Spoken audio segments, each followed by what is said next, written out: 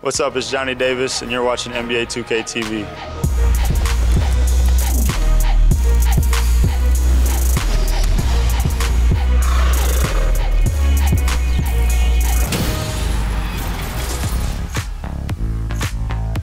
Welcome to 2K TV. Who's ready for the NBA season to tip off?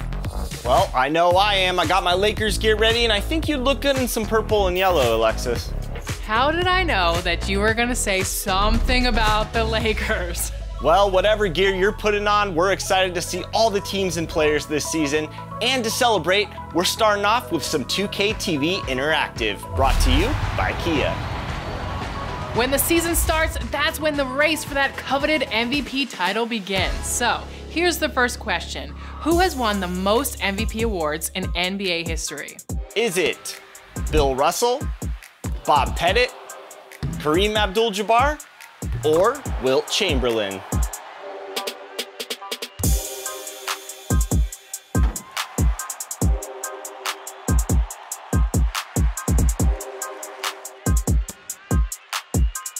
Da da da. If you answered the legend Kareem Abdul Jabbar, then enjoy that VC. But do you know how many he actually won? Bonus VC if you do. You checked out the theater in NBA 2K23? If not, what are you waiting for? This brand new environment is exclusively featured in the city, and each week there's new rules and game modes to play. It could be a game with 2K15 rules, a game where assisted baskets are worth an extra point, or maybe even a quick game to 11. The different rules in the theater make for a lot of fresh and fun competition. So get out there. And check it out now. The theater is a super fun way to level up. Now, if XP is your main goal, we can't forget about events. For more on that, listen up. To view the event schedule, look at the right side of the My Career Pause menu. What's up, play? Team 2K TV hopped on green light in the city to celebrate the first new event of the year, and we racked up some pretty nice plays. With that ball! Pressure him up! You may remember him from his days as an NBA coach, and you've certainly seen him in his role as a broadcast analyst. And if you're like me, you may simply know him as the Czar. Mike Fratello is a legend in the basketball world. So it's only fitting that he's a part of the NBA 2K family. You'll hear his color commentary throughout NBA 2K23, including Jordan mode. We asked him about his experience recording for the game and his years on the sidelines of the Jordan era. So Magic Johnson used the forum to play an all-star game, and the monies went to the Magic Johnson Foundation. So we figured, wow, this will be great. Marv and I together for the first time. So when we came on the air, there was a single shot of Marv welcoming everyone to uh, NBA basketball. And he said, I'd like to introduce my new partner, the czar, Mike Fratello. We had no idea why he did it. We don't know. So many years later, down the road, it has stuck, and so many people know me as the czar. They don't even know what my real name is. They just know there's the czar. This is a duel between two of the most explosive scorers of the generation. Oh, Big time throwdown!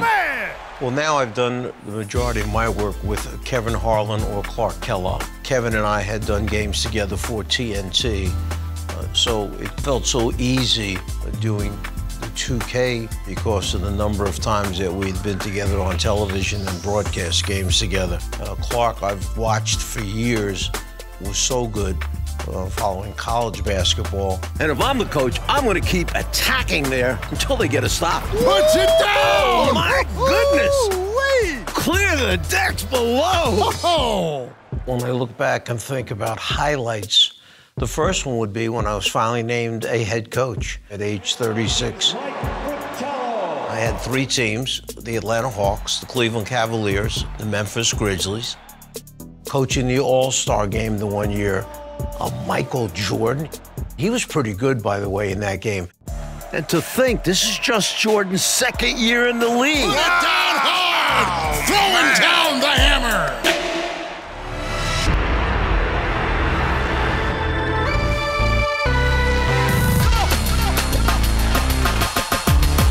Michael makes the six three pointers. He looks over at the table. There was Marv there was myself, and then there was Magic. Michael clearly was looking at me when he looked over at the table and gave the shrug.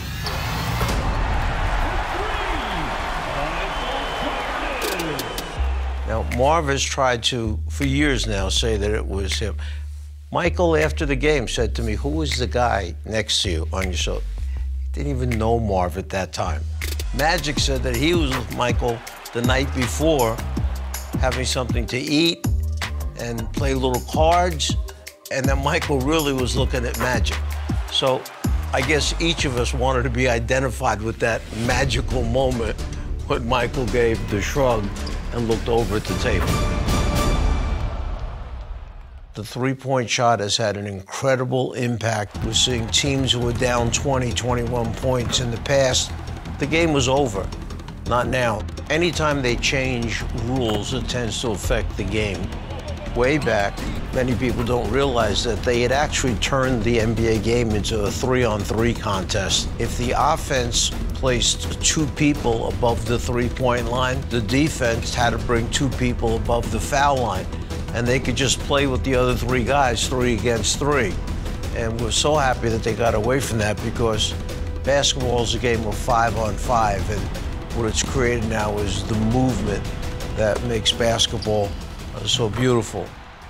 I've always thought that the game involves teaching. It starts in elementary school, whether it starts with their recreational teams, AAU, if it's on to college, and then in the NBA players are always looking to get better. They want to get better. They want someone to show them how to do it the right way. As I approach it with 2K basketball, we try to give them a better insight to why things are happening the way they're happening.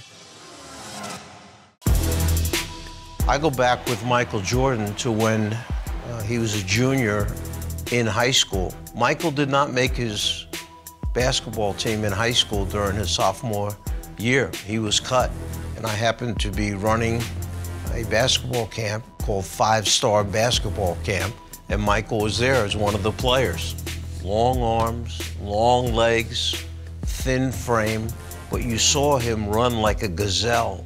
And next thing you know, he's being recruited by many schools in the country, but he wound up going on to North Carolina, helping his head coach, Dean Smith, win the NCAA championship made the huge shot at the end of the game.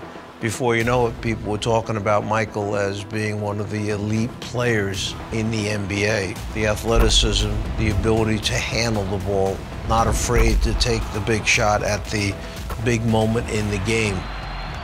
You saw and you followed this young man coming in who had faced disappointment as a sophomore in high school, bounce back and become perhaps the greatest player to ever play the game. For me to follow his career from high school through college into the NBA, watch him win six altogether, that's special to me. Oh, big time throwdown! Man!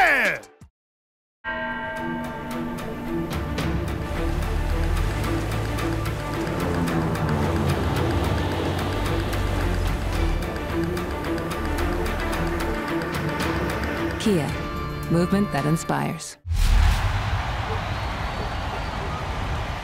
When the NBA season starts, all eyes are on the rookies and how they'll perform on the court. So our next interactive question will be looking at one of the best performing rookies in recent history. Who was the last rookie of the year to play all 82 regular season games? Was it Scottie Barnes, Luka Doncic, Ben Simmons, or Karl Anthony Towns?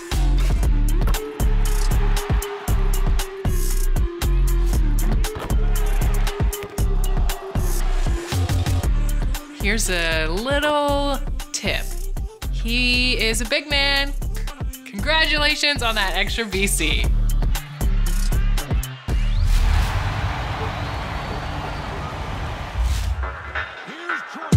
Hey everyone, this is Michael Baiamonte, public address announcer for your Miami Heat. For this week's edition of Top Plays, we're featuring your Mobil 1 drives. Let's see how you can steer clear and score.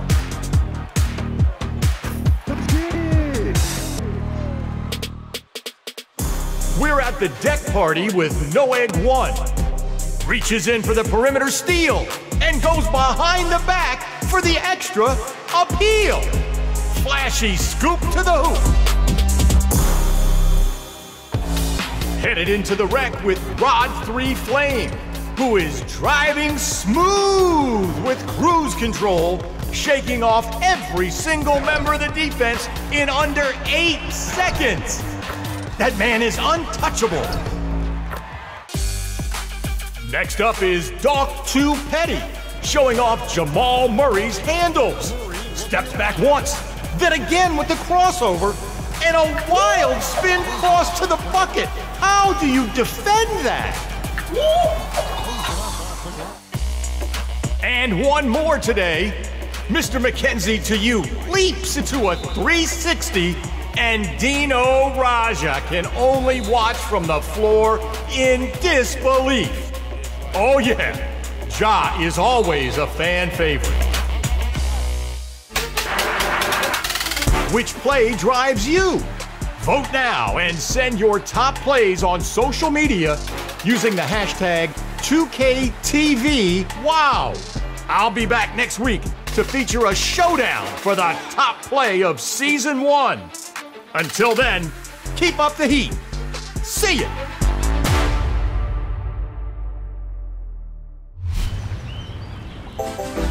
Next week, we'll be bringing you an all new in game season. Yes, Season 2 in NBA 2K23 is going to be bringing new rewards and events.